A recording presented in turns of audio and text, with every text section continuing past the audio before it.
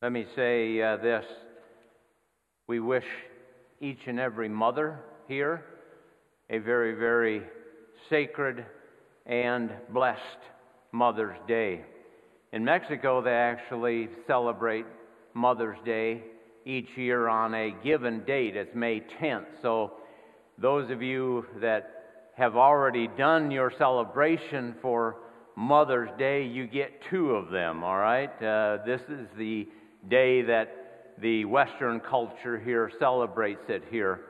And it is one that I want us to truly honor the ones that are in our lives that make such a huge, huge difference. This morning's message is actually going to touch on some of those things here. The title of the message this morning is called Leave a Light On. And no, this is not an advertisement for Motel 6 or anything like that. There, leave a light on. We're talking about doing something, having some action that leaves a legacy for those that will follow us. Everybody understand? Okay? This, this message today is important to each and every one of us.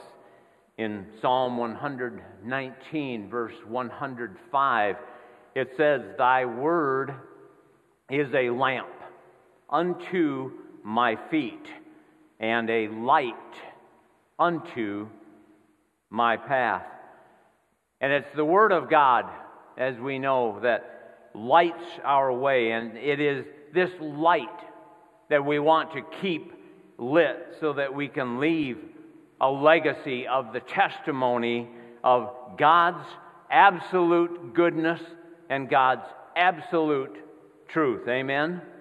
We're reminded of the importance of His Word and of that light when we read Psalm 138 and verse 2. It says, I will worship toward thy holy temple and praise thy name for thy loving kindness and for thy truth. For thou has magnified thy word above all thy name.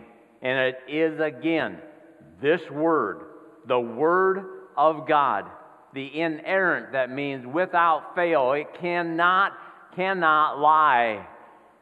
Word of God that we hold to and that we preach here in this house. Amen? Let's go to that next screen here. Borrowing a quote from Boyd Bailey, who happens to be an author that I follow, also the founder of Wisdom Hunters, a blog post there.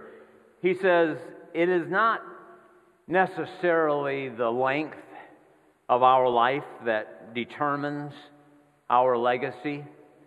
It is more the length of the shadow of our influence that defines what legacy we leave behind.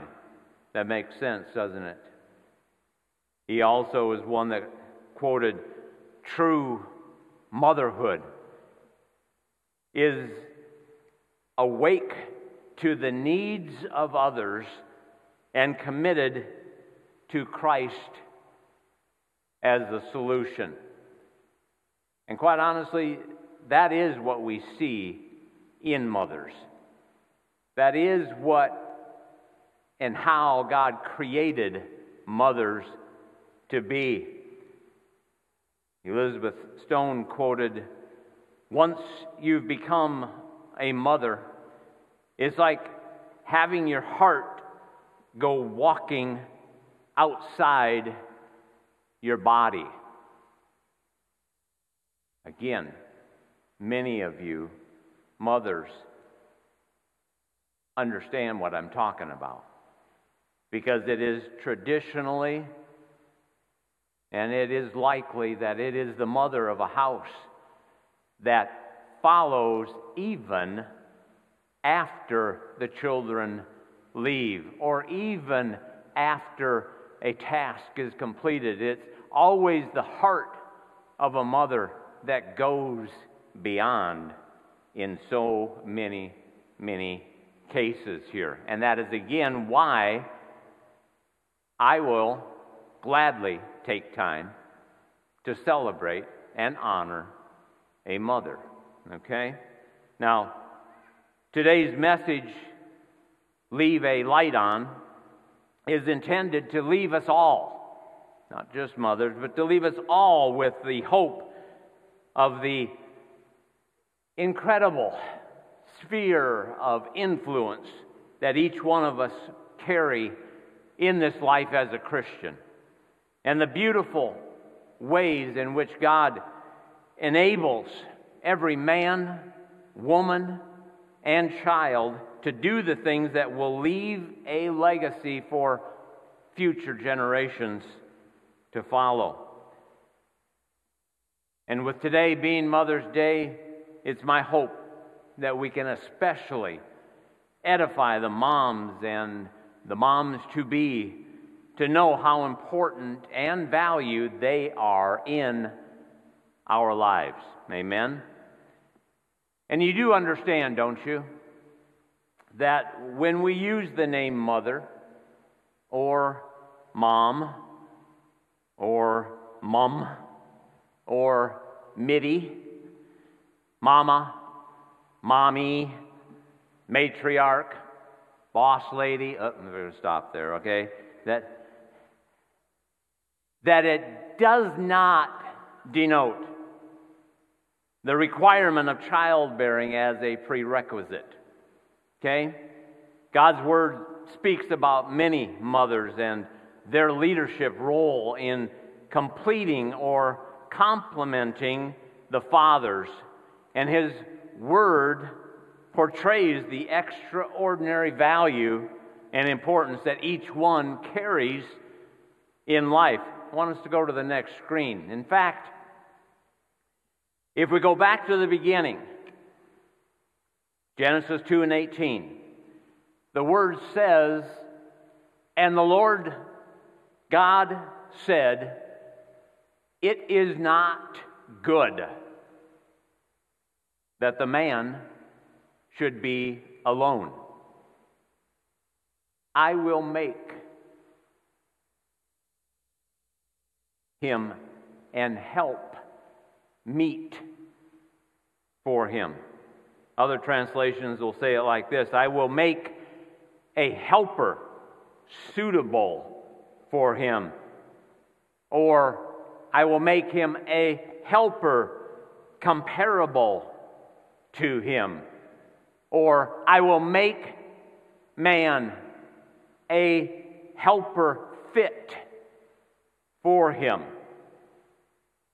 And that negative that we hear when God said, It is not good, that negative is extremely emphatic. it's not the same word construction that you use in saying, Well, I, I don't like broccoli. Okay? It's just not good. Okay? That may be true. Okay?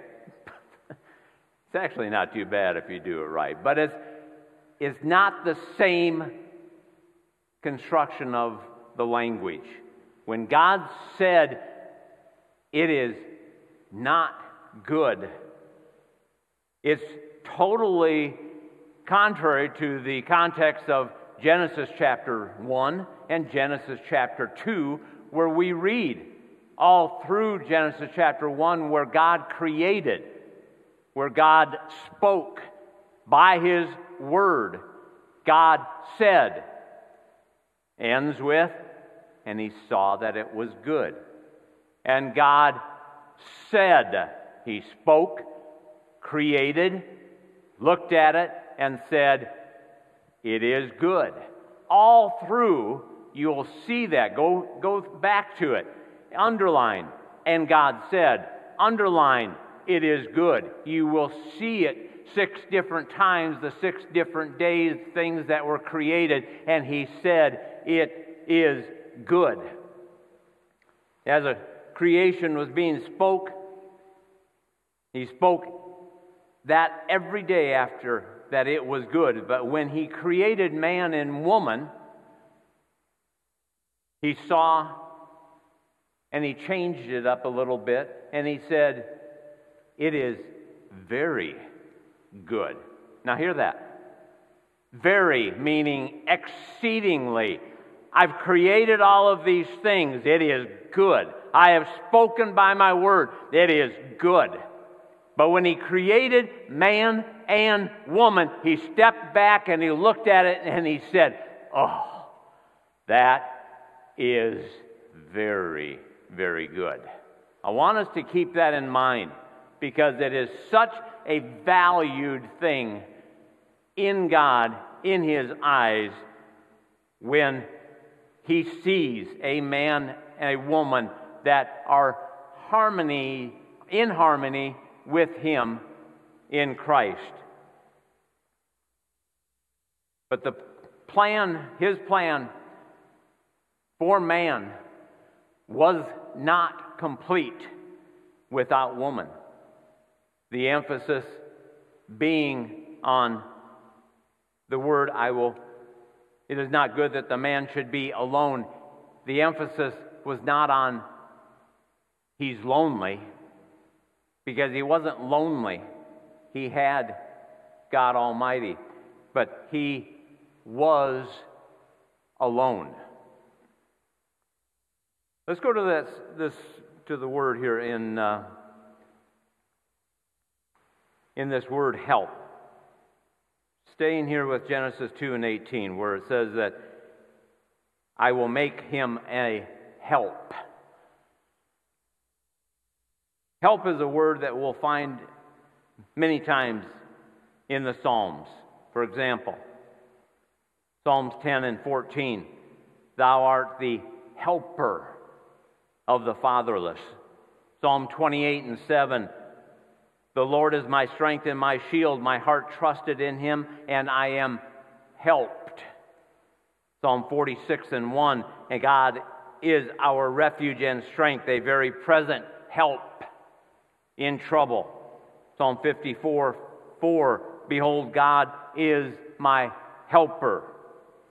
72 12 For he shall deliver the needy when he cries, the poor also in him that has no helper.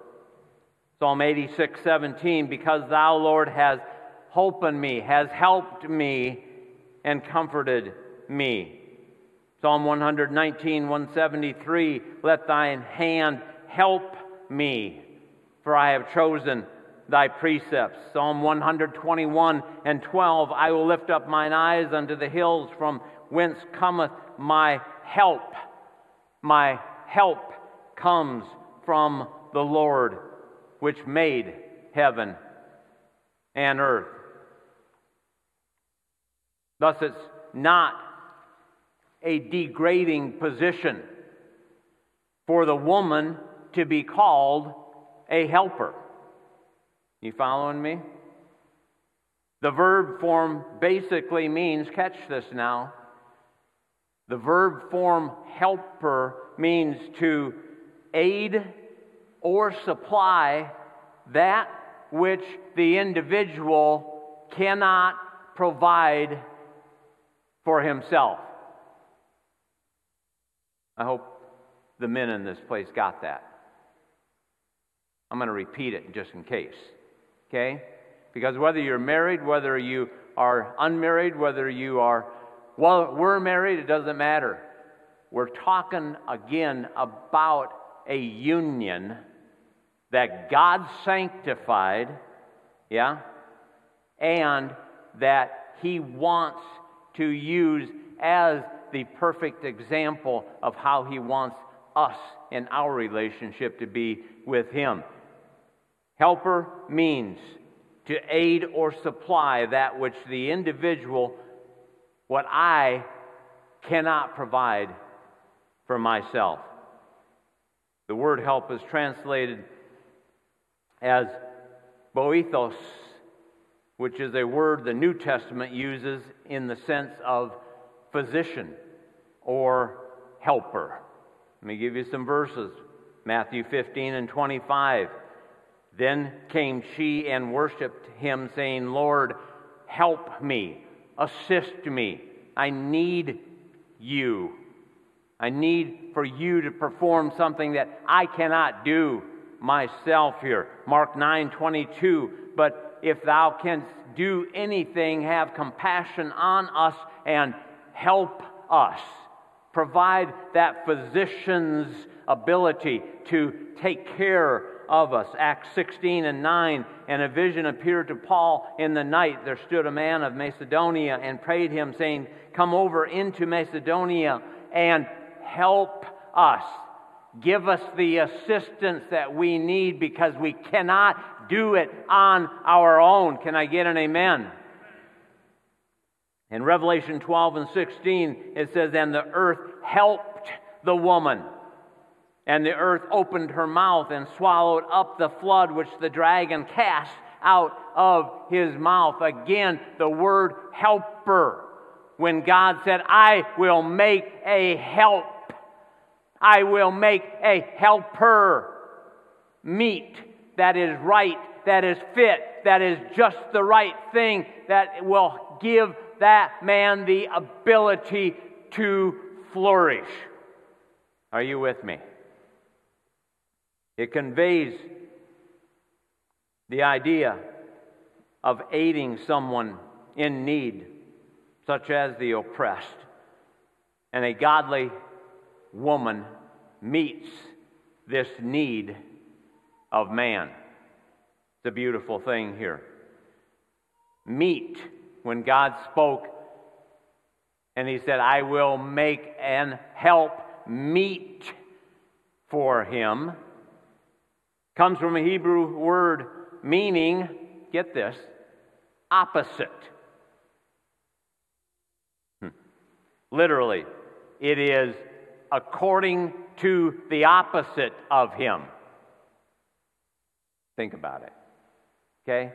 I will make him a help meet for him. When we talk about salt and pepper, those are two things that are different. Yeah, when we talk about light and dark, we're talking about two things that are different. So, how could it be a help? God, in His infinite knowledge, when He made man, seeing that he was alone, that he needed something to complement or to complete him, He said, I'll make him a help that is meet for him. It will be one that even in their bodies, they join together and they make one. God is so big, so far beyond anything that we even know.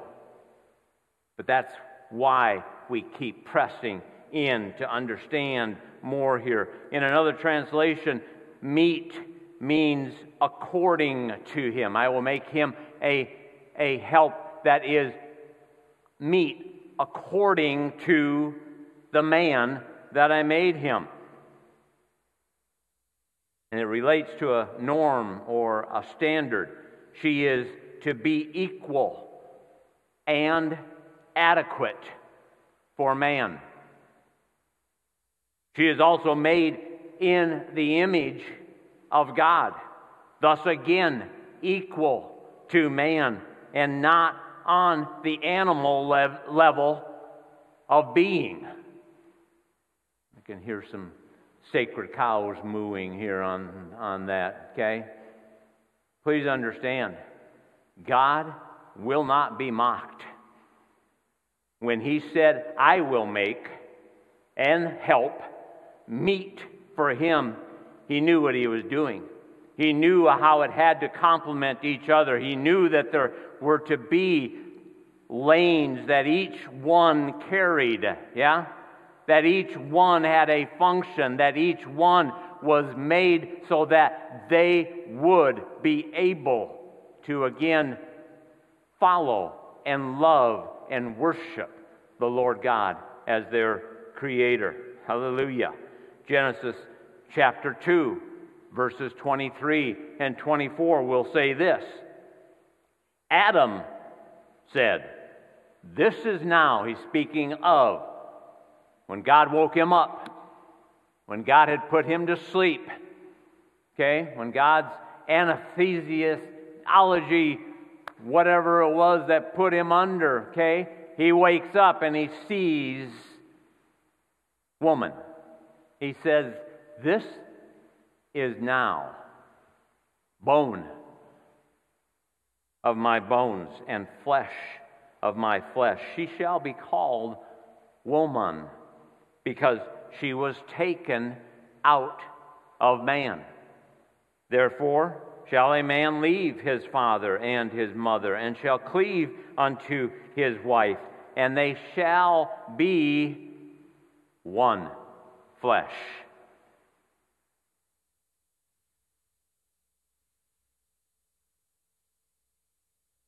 There is so much more.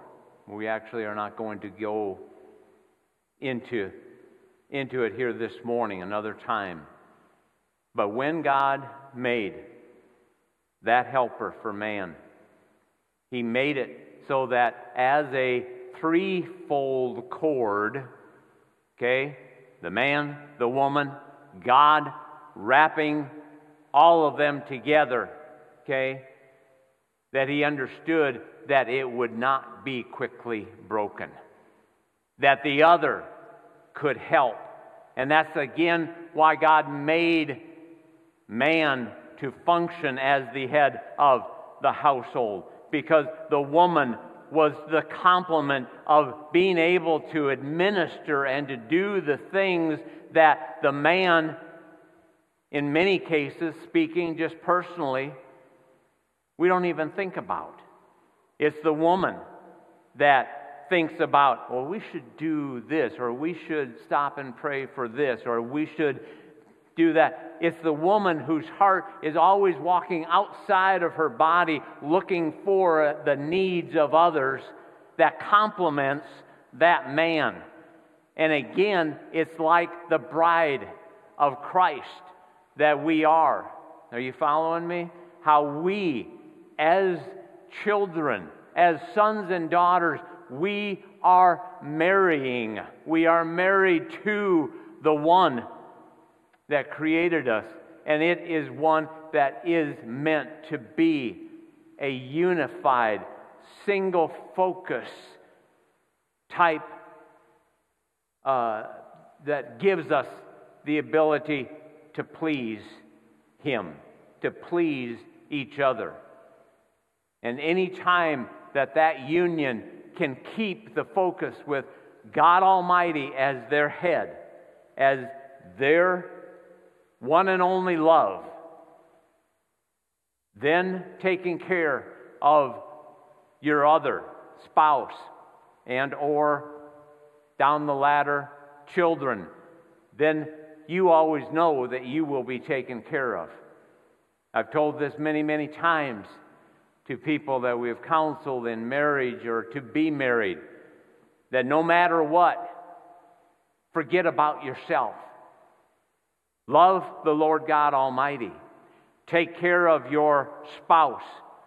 If you have children, take care of them. You're on the bottom. But know that because you're there, you're taken care of. Because if the spouse does the same thing, keeping the Lord Jesus Christ as the first love, taking care of her spouse, her children, then that spouse knows I'll be taken care of because I've kept it in the order that God made me in. Amen? Amen. And you know, I want you to go with me here to 1 Samuel chapter 1. And I want to uh, this morning just uh, leave you with four essentials of leaving behind a legacy for those that will follow here. There's many examples in the word that would exemplify the help and the meet that women provide in this world, but one in particular holds my attention this morning. It's Hannah. Joe has already talked about this woman of God that is found in 1 Samuel chapter 1. So go with me to that, that chapter.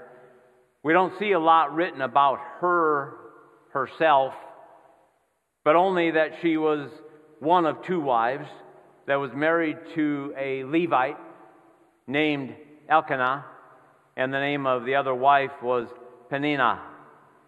And we see in verse 6 of 1 Samuel chapter 1 that Hannah was provoked by the enemy and also by the other wife, Penina, who was bearing children for Elkanah, and she made it real clear because Hannah was barren. She was not bearing children. And if you understand anything of the culture back in that day, that was almost like carrying a, a red X on you because it was considered a curse. And if you did not bear children, it was something that was just not comfortable. And Peninnah made sure that Hannah knew how horrible she was and what a louse she was and such an unfit wife of her husband Elkanah. And it says that the enemy provoked Hannah because she was barren.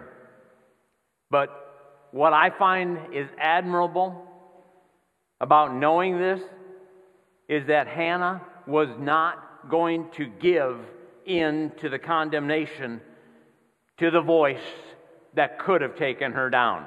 Are you hearing me? Her determination is an inspiration to each and every one of us. Let's go to this next screen. Hannah's legacy, what she did to leave behind something of her motherhood, began with the first and foremost prayer.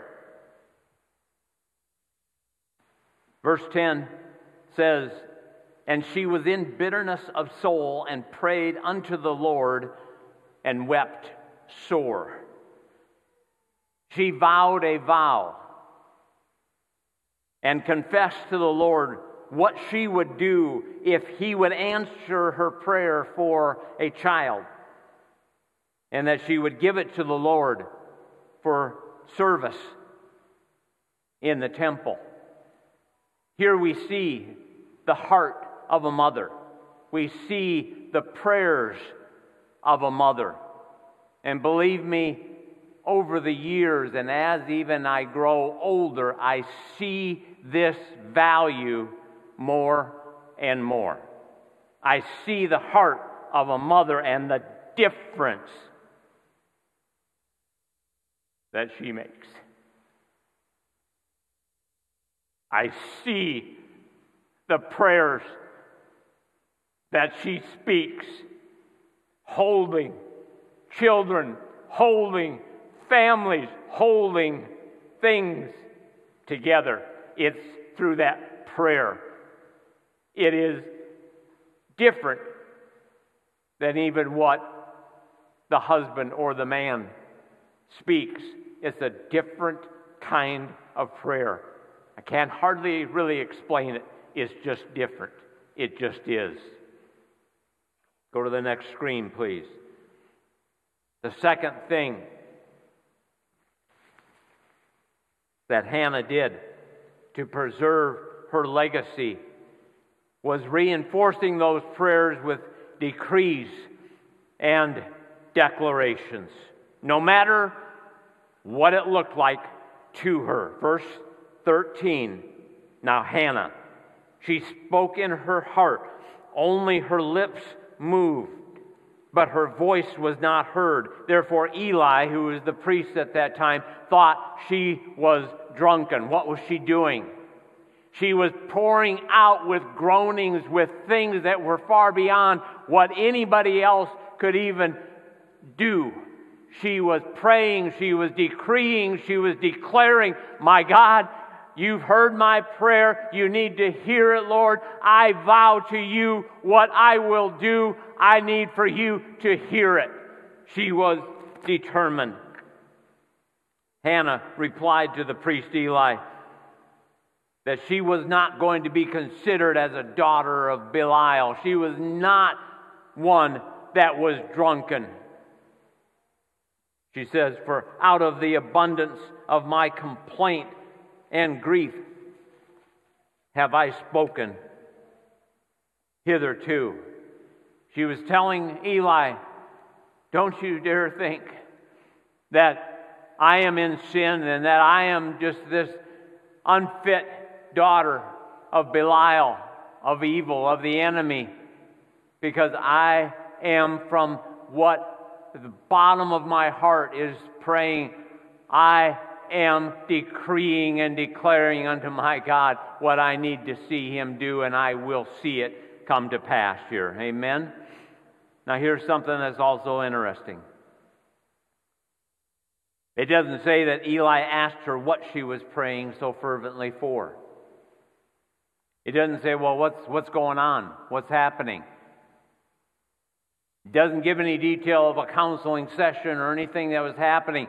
Eli saw her pray. He thought she was doing stuff so strangely that she was just being drunk. Instead, it was the Spirit moving in her, decreeing, declaring, groaning. And Eli says, Go in peace. And the God of Israel grant thee thy petition that thou hast asked of him. It does not say that Eli even knew what she was praying about. He just saw her status, what she was doing.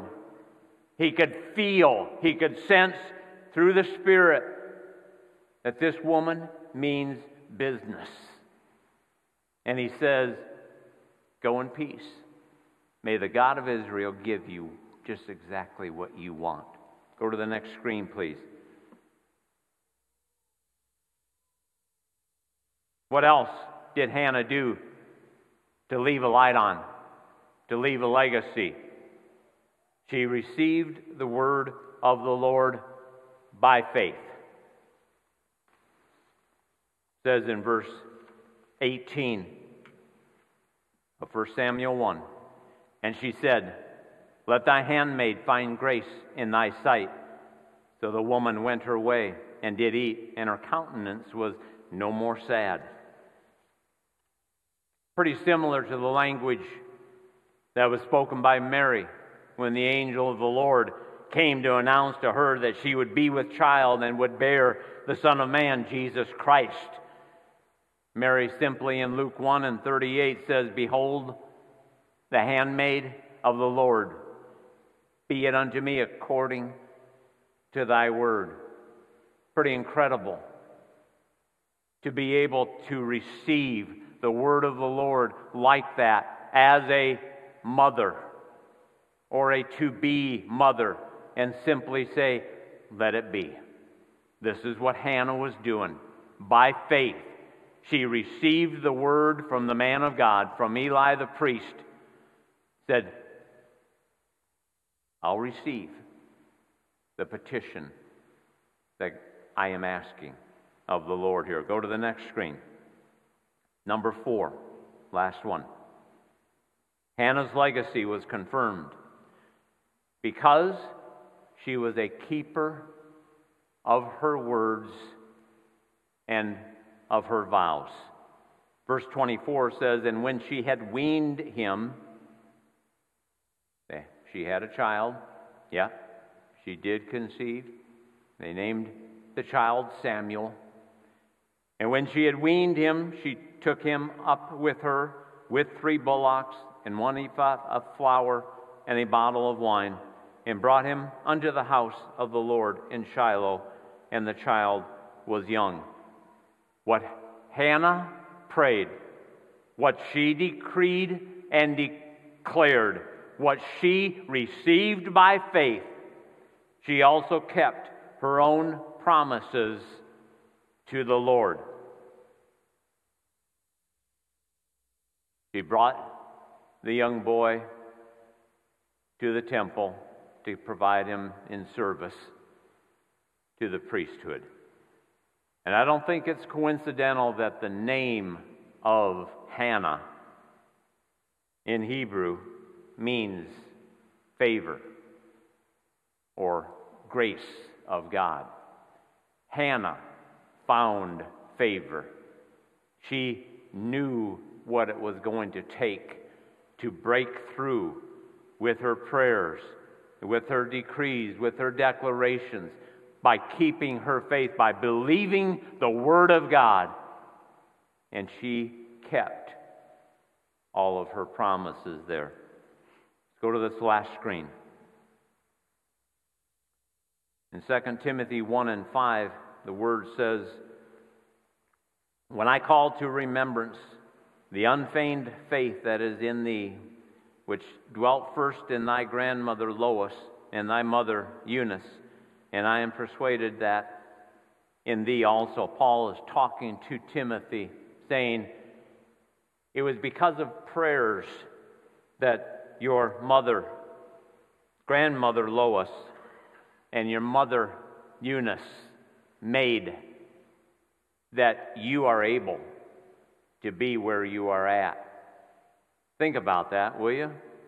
Will you think about just exactly the value that any person has, but especially a mother?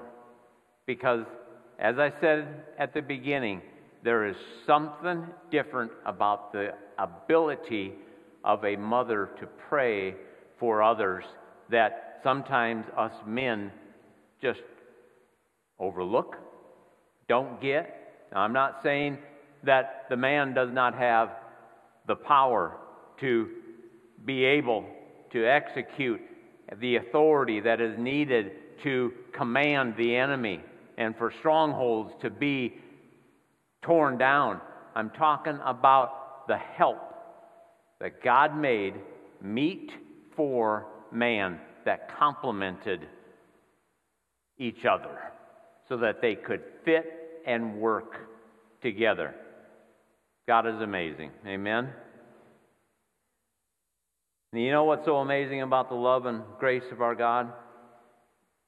It doesn't matter what you are bringing to the table. Doesn't matter if you're single right now. It doesn't matter where you're at, what position in, in your life, or what you're even going through.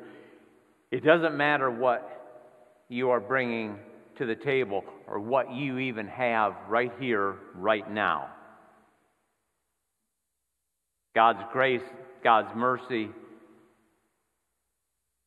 is so abundant that He will honor and bless it if we are truly presenting it with a sincere and contrite heart.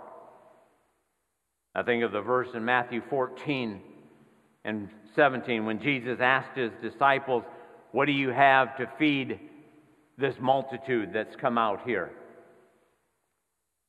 And they answered, Just these five loaves of bread and these two fishes. Jesus answered and he said, Bring them to me. Stop and think about it. All that is required is that whatever we have, even if it doesn't look like much, five loaves and two fishes was not going to feed the 5,000 people that were there, obviously. But Jesus said, Bring it to me. Bring what you've got. Bring me what you have. Maybe it's not totally sufficient, or you feel it's not totally sufficient right now. Bring me what you've got. I will bless it, I will break it, and I will give it to you so that you can feed the others. And that's exactly what happened. He took the bread He broke it, he blessed it, and then he gave it back. And he said, Now, go feed them. And they started feeding, and they kept feeding, and they kept feeding. Like, there's still more? They kept feeding. All Jesus said is, Bring me what you got. Bring me what you've got. Psalm 78, verse 7 verses says, Give ear, O my people, to my law. Incline your ears to the words of my mouth. I will open my mouth in a parable. I will utter dark sayings of old, which we have heard and known, and our fathers have told us. We will not hide them from their children, showing to the generation to come the praises of the Lord and his strength and his wonderful works that he has done. For he established a testimony in Jacob and appointed a law in Israel, which he commanded our fathers, that they should make them known to their children, that the generation to come might know them, even the children which should be born, who should arise and declare them to their children. We're talking about generations and generations to come that they might set their hope in God and not forget the works of God, but keep His commandments. And that's what we do. That's the legacy. That's the light we will leave on for those to follow. That those that are coming behind us will see, I saw the goodness of God. I saw God move in my brother's life, my parents' life. I saw God how faithful he was in everything. I saw the testimony of Jesus Christ being fulfilled. But it's up to us to take each and every day to the Word, to the, the Lord that created us, and work again our salvation out day by day. The end of the matter?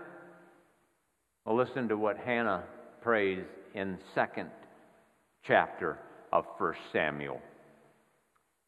Verse 1, 1 Samuel chapter 2, it says, And Hannah prayed and said, My heart rejoices in the Lord. My horn is exalted in the Lord. My mouth is enlarged over my enemies. Hallelujah. Because I rejoice in thy salvation. There is none holy as the Lord, for there is none beside thee, neither is there any rock like our God. This is the end of the matter. This is what Hannah saw of God's favor upon her life. And in verses 8 and 9, it continues, and she says, He raises up the poor out of the dust and lifts up the beggar from the dunghill to set them among princes and to make them inherit the throne of glory. For the pillars of the earth are the Lord's, and he hath set the world upon them. He will keep the feet of his saints, and the wicked shall be silent in darkness, for by strength shall no man prevail. It's all about him. Can I get an amen? Let's have some music here. Today's message was one of, again, simply the things that the Lord laid upon my heart about the importance of valuing each and every one of us. Okay? Valuing on any given day the female, the the daughters, the mothers that are in our lives. And understand that when we put God's Word into action and work together as a family, as a house, as a church, as we work together to pray and to see God move on our prayers. that we must know that He is faithful. And that every word that has ever been spoken over you, everything that has ever been spoken over this house will come to pass. But it is through that prayer, it is through those declarations, it is by faith, it is by holding to the Word of God and knowing that He is faithful that these things all will come to pass here. We have a incredible, glorious future ahead. I'm telling you, we do have an incredible, glorious future ahead. In your life, in your individual families' lives, I'd like for us all just to stand together here as we close. And I want to pray. I want to pray in the Holy Ghost that the power of His Word would be manifested for any for anything at all that is needed.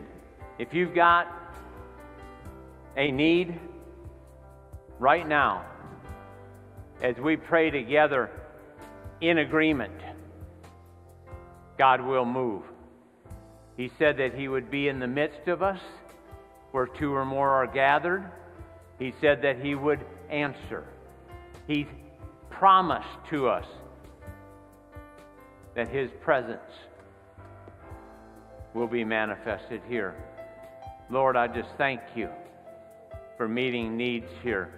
I thank you, Lord, for the favor and your blessing upon each and every mother that is here, upon each and every person, Lord, that is carrying, Lord, the burden of responsibility for the prayers that are going forth for family, for the needs, Lord, of those that are